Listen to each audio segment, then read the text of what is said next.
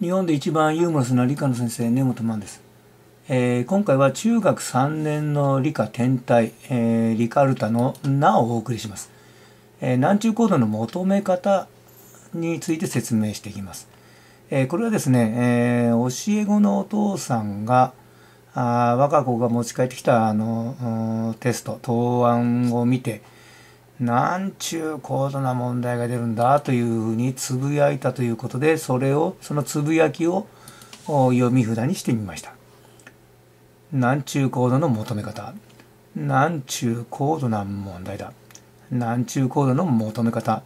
なんちゅう高度な問題だ。えー、まあこの読み札通りまあかなり難しいな、まあ、内容なんですが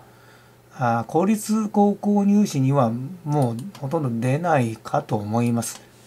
えー、ですがあ念のために、えー、説明しておきます。えー、南中高度は春分秋分の日は90度から緯度を引いた値になると。えー、そして夏至の日はそれに地軸の傾き分を足して、えー、冬至の日は地軸の傾き分を引いた値になるということです。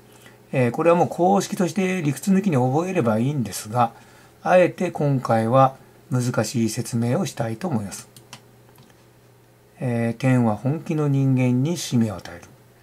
いい加減な人間には使命を与えないということでしょうかね、この格言。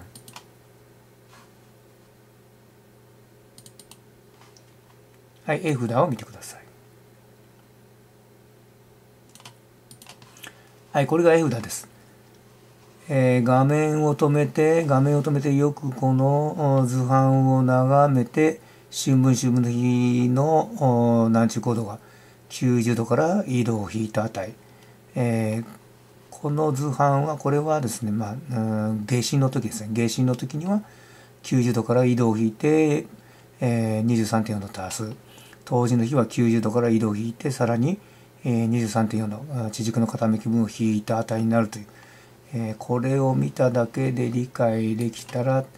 あ素晴らしいですね。えー、こちらの図を、はい、拡大しました。えー、春分秋分の日については結構これは分かりやすいです。えー、よろしいでしょうか？これ太陽太陽ですね。え太陽がこちらが太陽がこう太陽の角度こう南中高度こうですね。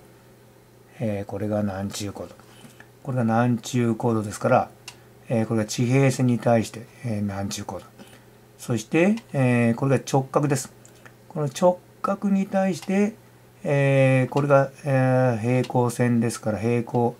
平行線に対する、まあ、同位角。この星印赤の星印これが緯度です。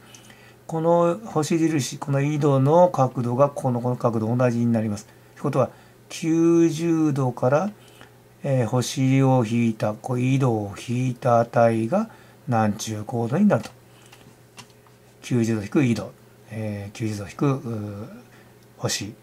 えー、ということで北緯35度であれば90引く35度で南中高度は55度ということで、えー、これは非常に分かりやすいかと思います。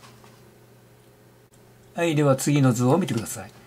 えー、こちらの図はですね、夏至の時の様子を図に表したものです。えー、いろんな線が入り組んでてもなんだかさっぱりわかんないっていう人もいると思いますが、えこの左半分を拡大したのがこちらです。はい、わかりやすく拡大しました。はい、そして南中高度。南中高度、これですね。南中高度。はい、これは太陽。はい、南中高度。これが南中高度。で、この南中高度はですね、ここの90度。これが直角です。90度からこの星で表したこの角度を引いたもの90度からこの星で表した角度を引いたものがちょうど南中高度になっているというのが分かりますか。えー、とするとこの星の角度はどうやって出すかというとこの緯度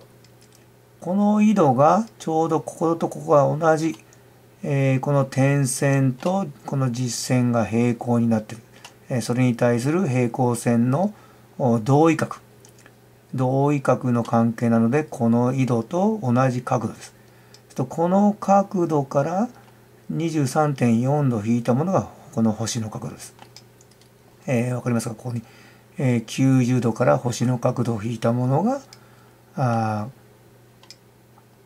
南中高度になると。すると式で表す90マイナス括弧緯度マイナス23.4度でこの式を展開すると90